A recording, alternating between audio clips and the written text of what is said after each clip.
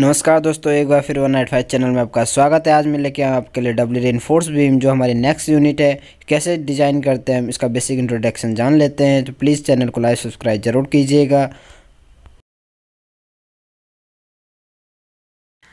चलिए तो आज स्टार्ट करते हैं हम जो डब्ल्यू इन्फोर्समेंट बीम सेक्शन है। टॉपिक हमारा बहुत ही इंटरेस्टिंग होने जा रहा है।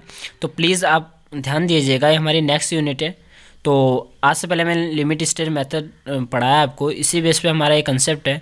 इसमें हम क्या करते हैं डब्ल्यू इन्फोर्समेंट वो होती है बेसिकली जिसमें हम क्या करते हैं कंप्रेशन जोन और टेंसाइल जोन दोनों में हमारे इन्फोर्समेंट डाली जाती है। हमारा डब्ल्यू इन्फोर्समेंट बीम कहलाती है। ठीक है? डब्ल्यू इन्फोर्समेंट क्यों बनाई जाती है, इसकी कुछ नेसेसिटी हैं, जो मैं आपको पॉइंट वाइज लिखा रहा हूँ यहाँ पे तो प्लीज़ पॉइंट को समझिएगा आप।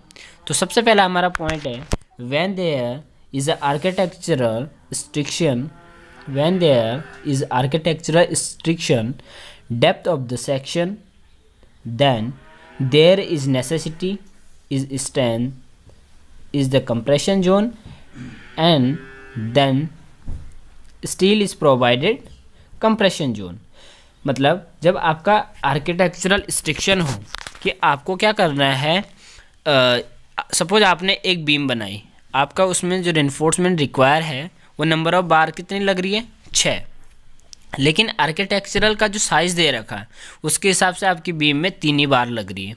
तो आपको तो आप नंबर ऑफ़ बार को कम नहीं कर सकते ना, क्योंकि उससे आपकी बिल्डिंग की स्ट्रेंथ कम हो जाएगी। तो आप क्या करोगे, आपकी बिल्डिंग की स्ट्रेंथ भी कम ना हो, है ना?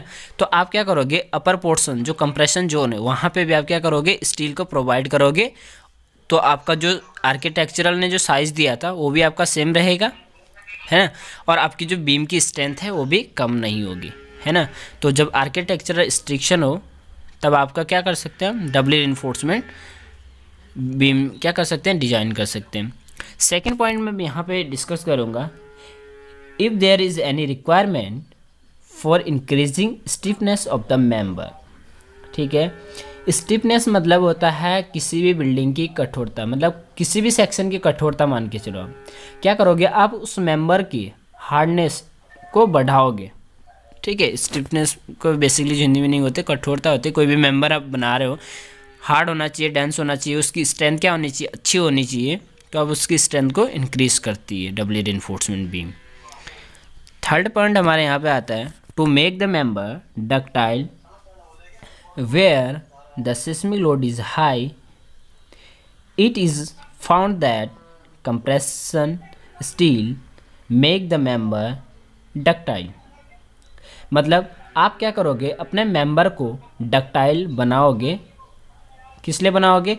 ताकि आपका जो भी सिस्मिक लोड आते हैं या अर्थक्विक जो आते हैं आपके उनके उनसे प्रिवेंट करने के लिए। सपोज़ आपका अर्थक्विक आ रहा और आपकी बिल्डिंग डक्टाइल नहीं है तो क्या हो जाएगी? सडनली गिरना स्टार्ट कर देगी। तो आपका मेंबर थोड़ा डक्टाइल होगा, तभी तो वो सिस्मिक लोड को झेल पाएगी ना, जो भी आपके भूकंप आते हैं, ठीक है? लास्ट पॉइंट हमारा यहाँ पे आता है। When the member is subjected to a centric loading जब आपका मेंबर क्या हो सेंट्रिक लोडिंग से सब्जेक्ट हो। सेंट्रिक लोडिंग मतलब आपके मेंबर में क्या आ रहा हो? बैंडिंग की कंडीशन जनरेट हो रही हो। तो जब बेंडिंग आती है आपकी किसी भी मेंबर में तो आपके मेंबर को क्या होना चाहिए? डबली होना चाहिए ताकि उसकी स्ट्रेंथ क्या हो? अच्छी हो। बेंडिंग में उसमें कोई तरह का डिफ्लेक्शन जनरेट ना हो। चलो, सबसे पहले मैं यहाँ पे आपको यहाँ पे जो बना के दिखा रहा हूँ, इसका स्ट्रेस ब्लॉक डायग्राम इस डायग्राम को कम्प्लीटली आप अच्छे से समझिएगा, क्योंकि इस डायग्राम से रिलेटेड जितने भी फॉर्मूले हैं, जितने भी टाइप के, कैसे हम कैलकुलेट करेंगे मूवमेंट एम लिमिटिंग ठीक है? तो प्लीज़ ध्यान से देखिएगा। ये हमारा जो मैं फ़र्स्ट डायग्राम यहाँ पे बना रहा हूँ आपको, ये हमारा क्या है? एक मेन डायग्राम है, जिसमें मैं यहाँ पे शो करूँगा। ये हमारी न्यूट्रल एक्सिस है, ठीक है? ये हमारा कंप्रेशन जोन है।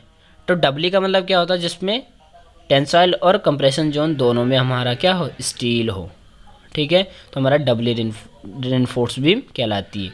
तो मैंने आपको दिखा दिया है कि हमारा डबली है, ठीक है? टेंसाइल जोन में भी स्टील है और कंप्रेशन जोन में भी स्टील है। सिंपल।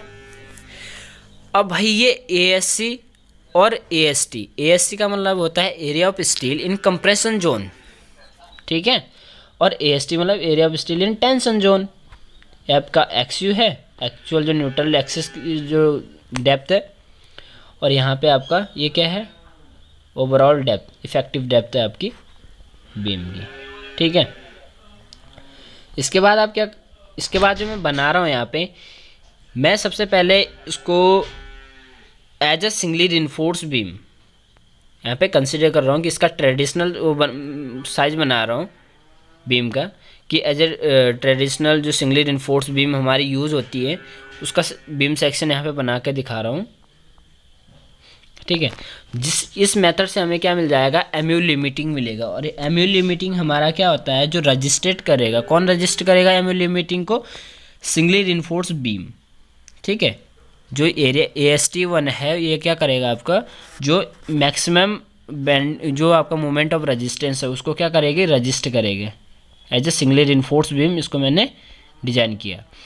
तो एज ए सिंगली इन्फोर्स अगर मैं इसको डिज़ाइन करता हूँ तो इसके लिए जो मेरा स्ट्रेस डायग्राम बनेगा, ये कुछ ऐसा बनेगा। कंक्रीट के केस में, जो लिमिट स्ट्रेस मेथड के जो एजम्सन है, वो क्या बोलते हैं कि जो आप, आपका स्ट्रेस डायग्राम है, वो कौन सा एक्सेप्टेबल है? पैराबोलिक तो इसके लिए जो होती है zero point four four six F C K इसकी वैल्यू है स्ट्रेस की इन कॉन्क्रीट के लिए। ठीक है? तो आपका जो ये पोर्शन है, आपका क्या है? डी डैश ठीक है?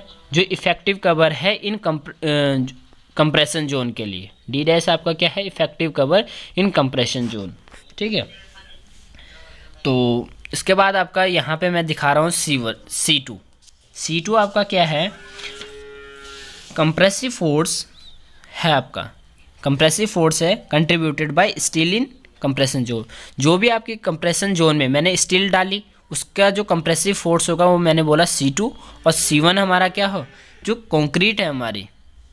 सी वन हमारा क्या है? जो कंक्रीट पहले से वहाँ पे कंप्रेशन जोन में प्लेस है, उसका कंप्रेसिव फोर्स है। तो दोनों समझ में आ गया? सी टू आपका स्टील के कारण कंप्रेसिव फोर्स और सी वन आपका कॉन्क्रीट के कारण कंप्रेसिव फोर्स ठीक है? ये यहाँ पे मैं दिखा रहा हूँ यहाँ पे लीवर आर्म क्योंकि जो आपकी अब जो डिस्टेंस है zero point four two X U तो हमारा लीवर आर्म क्या हो जाएगा? D minus zero point four two X U simple तो एज ए सिंगली इन्फोर्स मैंने इसको क्या किया पहले? डिज़ाइन किया। तो मेरा क्या मिला? स्ट्रेस डायग्राम आपको समझ में आया होगा। नीचे मैं यहाँ पे जो लिखा रहा हूँ, ये हमारा क्या टेंसाइल फोर्स और टेंसाइल फोर्स हमारा क्या सिंगली इन्फोर्स बीम में आपका जो सारा जो टेंशन जोन में कौन ज़्यादा स्ट्रेस लेता है? स्टील लेता है। लेकिन कॉन्क्रीट की स्ट्रेन वहाँ फुल यूटिलाइज नहीं होती है। तो यहाँ पे आपकी, मैंने कंक्रीट को शो नहीं कर रखा केवल स्टील यहाँ पे लोड ले रहा है, जो कम टेंसाइल फोर्स आपका zero point eight seven F Y A S T ठीक है? ए एस टी वन हो जाएगा वो, ठीक है? अब आप क्या कर रहे हो, यहाँ पे मैंने क्या किया है सेकेंड टाइम मैंने इसका क्या किया इसी डायग्राम का कंटिन्यू चल रहा है यहाँ पे जगह नहीं थी। अब मैं क्या कर रहा हूँ, इसको as a balance section as a balance section इसको डिज़ाइन कर रहा हूँ। तो ये बैलेंस सेक्शन में क्या हो जाएगा? मुझे डबली बनाना है। तो जितना स्टील मैंने मेरा कम टेंशन जोन में, उतना स्टील मेरा क्या है? कंप्रेशन जोन में। तो फ़र्स्ट में मुझे ए एस टी वन मिल रहा था। तो जो मैं बैलेंस सेक्शन डिज़ाइन करूँगा तो मुझे क्या मिल जाएगा? ए एस टी टू क्योंकि जो मेरा फ़र्स्ट डायग्राम है, जो ऊपर है, वो ए एस टी मुझे निकालना है। तो A S T two A S T one और ए एस टी टू दोनों निकालना पड़ेगा ना। तो जब बैलेंस सेक्शन में डिज़ाइन कर रहा हूँ तो सेकंड के लिए जो मेरा एरिया है कंप्रेशन जोन में A S C area of steel in compression zone और जो टेंसाइल के A S T two A S T one मैंने ऊपर दिखा दिया आपको। ये डेप्थ आपकी सेम है। D minus D dash D dash आपका क्या कम, जो इफ़ेक्टिव कवर है इन कंप्रेशन जोन में। ऊपर का जो स्टील के लिए कवर है आपका, वो डी डैश है। ठीक है? और यहाँ पे मैं यहाँ पे जो शो कर रहा हूँ आपको, ये ओवरऑल डेप्थ है। इसकी ओवरऑल नहीं इफ़ेक्टिव डेप्थ है। ठीक है? इन्फोर्समेंट के सेंटर जो भी आपकी सरिया है, उसके सेंटर लाइन से और ऊपर वाले पोर्शन तक की जो डिस्टेंस है डी डैश डी होती है आपकी सॉरी ठीक है। इसके बाद यहाँ पे मैं इसका जो डायग्राम बना रहा हूँ। अब आपका क्या है? कंप्रेशन जोन में भी यहाँ पे आपका क्या है? स्टील है। अब टेंसाइल जोन में भी आपका स्टील है। As a balance section design कर रहा हूँ। तो सी यू टू आपका क्या है? सी यू टू आपका, जो मैंने अभी बताया था आपका कंप्रेसिव फोर्स है, जो कंट्रीब्यूटेड है किसके द्वारा? स्टील के। जो स्टील के द्वारा जो कंप्रेसिव फोर्स है। सी यू टू हो गया और बॉटम पोर्शन में आपका क्या है? टी यू टू इससे आपका टू मिलेगा, क्योंकि टी वन मैंने ऊपर लिख दिया है, जो फ़र्स्ट डायग्राम जो एज ए मैंने सिंगल ये वाला टी वन है, ठीक है? तो टी यू टू मैंने यहाँ पे लिख दिया टी वन निकाल दिया टी टू दिखा दिया मैंने डायग्राम में। अब देखो आपको एम यू जो फ़र्स्ट डायग्राम है मोमेंट ऑफ़ रजिस्टेंस तो जब सिंगली इन्फोर्समेंट आपको डिज़ाइन करोगे तो आपका जो डायग्राम ही है ये वाला, क्या रिप्रेजेंट कर रहा है आपका? M U limiting M U limiting को कौन रजिस्टर करेगा? जो आपकी सिंगली इन्फोर्स बीम होगी, यानी एरिया ऑफ़ स्टील जो ए एस टी वन मैंने लिखा है, उसको कौन रजिस्टर करेगा? M U limiting M U limiting को A S T one register करेगा, ठीक है? तो यहाँ पे आपका एम यू इक्वल टू क्या मिलेगा आपको? M U limiting plus M U two यानी पहले आप एम यू लिमिटिंग निकालोगे, फिर आप एम यू टू निकालोगे, तब आपका क्या मिलेगा? टोटल मूवमेंट ऑफ़ रजिस्टेंस मिलेगा एम यू मिलेगा, ठीक है? चलो बात करते हैं यहाँ पे। कंप्रेसिव फोर्स इक्वल टू क्या होता है हमारा? अब डबली है तो टेंसाइल में भी स्टील है। कंप्रेशन में भी स्टील है। तो कंप्रेसिव फोर्स दो दो होंगे टेंसाइल फोर्स भी दो होंगे मतलब दो दो मेम दोनों मेंबर में देखना पड़ेगा ना हमें। तो सी वन हमें कैसे मिला? C one plus C C U two ठीक है?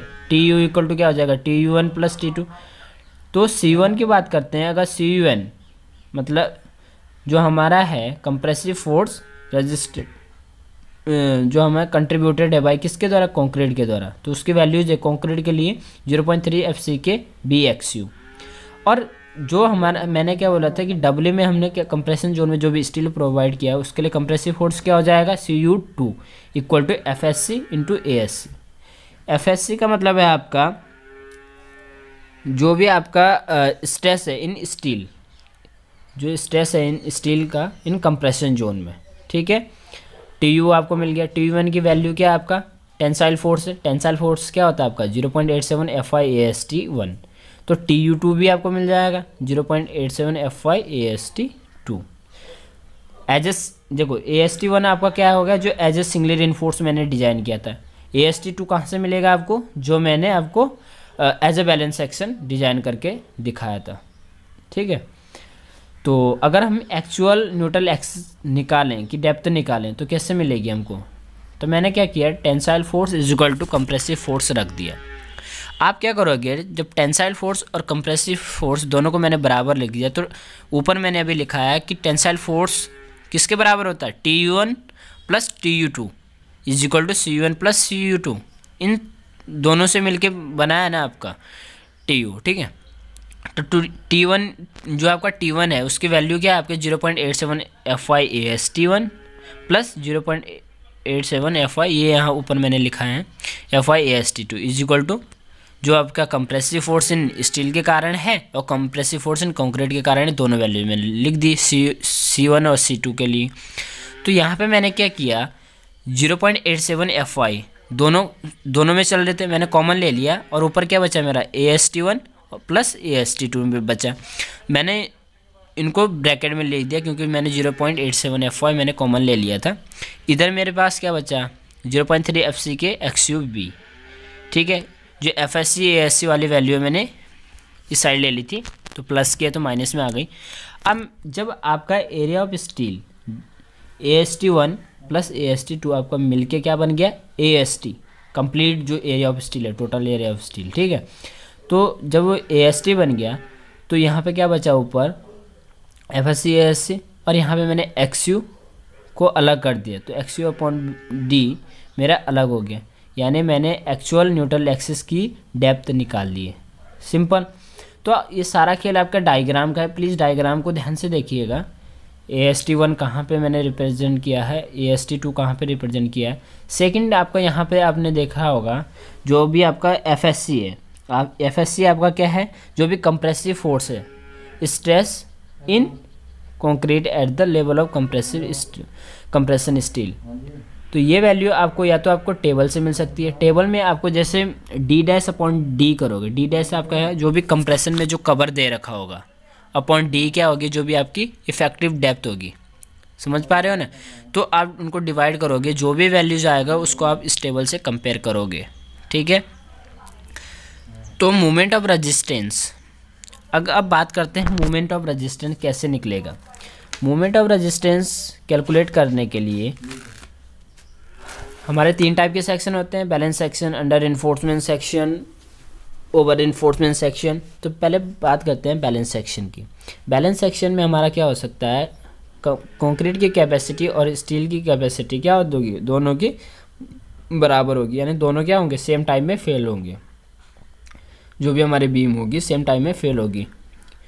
तो बैलेंस सेक्शन में मैंने क्या किया? एक बार मैंने कंसिडर किया कंप्रेसिव फोर्स को, ठीक है? तो कम कंसिडर किया मैंने कंप्रेसिव फोर्स को तो कंप्रेसिव फोर्स हमारा क्या होता है? C U one into Z one plus C U two into Z two क्योंकि सी यू वन और सी यू टू हमारा क्या है? दोनों कंप्रेसिव फोर्स है। एक स्टील के कारण है और दूसरा हमारा कौन सा है? कॉन्क्रीट के कारण है। तो दोनों को मैंने किया। तो लिब्राम आपको पता है D minus zero point four two X U तो कॉन्क्रीट के लिए जो होती है हमारे सी यू वन की वैल्यू है zero point three C F C K X U B ठीक है? सी यू टू यानी जो स्टील है कंप्रेशन में डबली है तो F S C S T D minus D dash ये फॉर्मूला हमारा बन के आता है। तो ये ये बेसिक है मतलब आप समझ सकते हो इन चीज़ों को। ठीक है? और वीडियो को लास्ट तक देखते रहेगा, क्योंकि अगर आप ये चीज़ यहाँ से देख लेते हो, सीख लेते हो तो आप जो भी न्यूमेरिकल प्रॉब्लम करोगे ना तो ये चीज़ें आपके रिपीट होंगी, ये स्टेप आपको इस चीज़ समझ में आ जाएगी। ठीक है? कंसिडर अब मैंने क्या किया है? टेंसाइल फोर्स को कंसिडर किया। टेंसाइल फोर्स हमारा क्या है? दो है टी वन और टी टू तो मैंने क्या किया? T one into Z one plus T two into Z two ठीक है? तो यहाँ पे हमारा जो टेंसाइल फोर्स, वो क्या होता है? Zero point eight seven F I A S T ये हमने पहले भी एज ए जब हमने सिंगली इन्फोर्समेंट पढ़ी थी लिमिट स्टेट मेथड में तो उसमें आपने ये वाली वैल्यूज़ देखी होगी टेंसाइल फोर्स क्या होता है? वही चीज़ हमने क्या किया? यहाँ पे रिपीट हो रही है। बस यहाँ पे दो वैल्यूज़ बढ़ रही है। टी वन और टी टू दो बार लेना पड़ रहा है। क्यों? एक तो हमारा जो पहले से है मतलब जो टेंसाइल जोन में, एक हमारा कंप्रेशन जोन में जो स्टील है, उसके कारण टेंसाइल फोर्स होगा कुछ, है ना? तो अगर हम कंप्लीट एम निकालें, जो मैंने फ़र्स्ट डायग्राम बनाया था, उसका एम निकालें movement of, ultimate moment of resistance निकालें तो कैसे निकलता है? सेकेंड डायग्राम मैंने बताया था, जो सिंगल इनफोर्स के लिए बताया था। ठीक है? M U limiting plus M U two. ठीक है? थर्ड डायग्राम हमारा एम यू टू देता है। तो एमयू निकालने के लिए हमें सबसे पहले एमयू लिमिटिंग कैलकुलेट करना पड़ेगा, सेकंड हमें एम टू निकालना पड़ेगा। एम यू लिमिटिंग कैसे निकलेगा? इस फॉर्मूले से निकलेगा zero point three six F C K X U max upon D, one minus zero point four two X U upon D, B D square. सारी वैल्यूज़ आपको पता है, F C K characteristic strength of concrete है।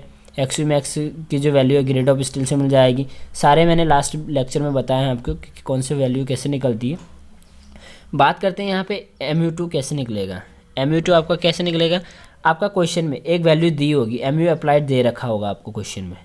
तो आपको M you applied अगर दे रखा होगा तो आपको कैसे निकलेगा? M U limiting minus M U तो ये वैल्यूज़ आपको क्वेश्चन में दी होगी, ठीक है? तो एम यू टू आपने निकाल दिया है।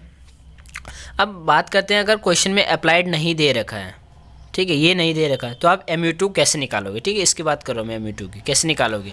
तो एम को निकालने के लिए सिंपल आपका फॉर्मूला हो जाएगा M U two equal to M U two equal to अगर आपका अप्लाइड नहीं दे रखा क्वेश्चन में कोई भी बेंडिंग मूवमेंट नहीं दे रखा आपका, ठीक है?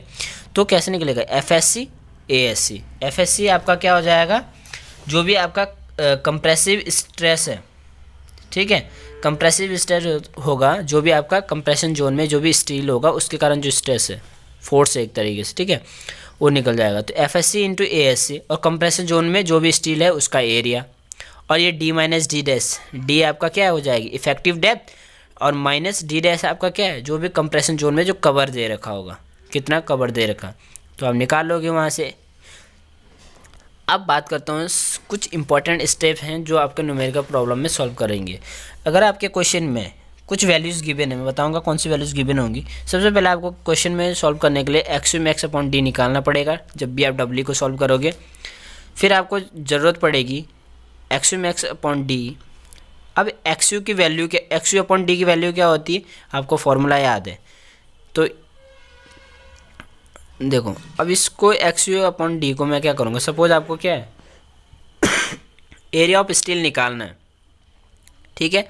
एरिया ऑफ़ स्टील आपको दो चीज़ें मैंने, दो डायग्राम बनाए थे मैंने ए एस टी वन और ए एस टी टू तो आपको अगर ए एस टी वन और ए एस टी टू को ऐड करोगे, तभी तो कंप्लीट ए एस टी मिलेगा। यानी क्वेश्चन में पूछ रखा होगा कि एरिया ऑफ़ स्टील निकालना है। तो ए एस टी वन आप यहाँ से कैलकुलेट करोगे। ठीक है? एक्स यू अपन बी को खोल दोगे यहाँ पे और एक्स यू में एक्स की वैल्यू डायरेक्टली डिपेंड कर, यहाँ पे पुट कर दोगे। ठीक है? एक्स यू अपॉन डी की जगह आप एक्स यू अपॉन जो मैक्सिमम का जो वैल्यूज़ दे रखी उसको रखोगे तो आपका ए एस टी वन निकल जाएगा, ठीक है? और एक एरिया ऑफ़ स्टील आपको क्वेश्चन में गिवन होगा। तो ए एस टी वन आपको मिल गया ए एस टी टू आपको दे रखा होगा, दोनों को ऐड कर दो complete A S area of steel मिल जाएगा। दूसरा और उसके साथ साथ आप उसने पूछा कि आपको movement of register ultimate movement भी निकालना है।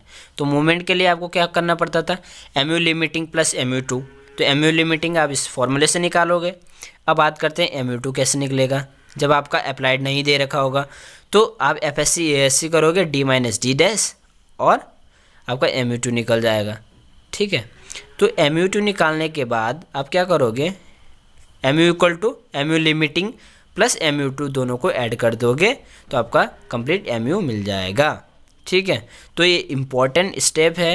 अब जो ए एस टी वन मैंने बोला ना आपको क्वेश्चन में उसने पूछा कि अल्टीमेट मूवमेंट फाइंड करना है और एरिया ऑफ़ स्टील निकालना है। एरिया ऑफ़ स्टील जब भी आप डब्ल्यू के लिए करोगे तो आपको ए एस टी वन भी निकालना पड़ेगा टू भी निकालना पड़ेगा। हो सकता है क्वेश्चन में उसने एक एरिया ऑफ़ स्टील दे रखा हो तो आपको एक ही निकालना है, फिर दोनों को ऐड करना है ए एस टी आपको मिल जाएगा टोटल एरिया ऑफ़ स्टील निकल जाएगा। समझ पा रहे हो ना? हाँ तो प्लीज़ वीडियो को लास्ट तक देखते रहेगा। चैनल पे नए हो तो लाइक सब्सक्राइब ज़रूर कीजिएगा ताकि मैं आपके लिए ऐसी इंटरेस्टिंग वीडियो लाता रहूँ। बेल आइकन को ज़रूर प्रेस कीजिए।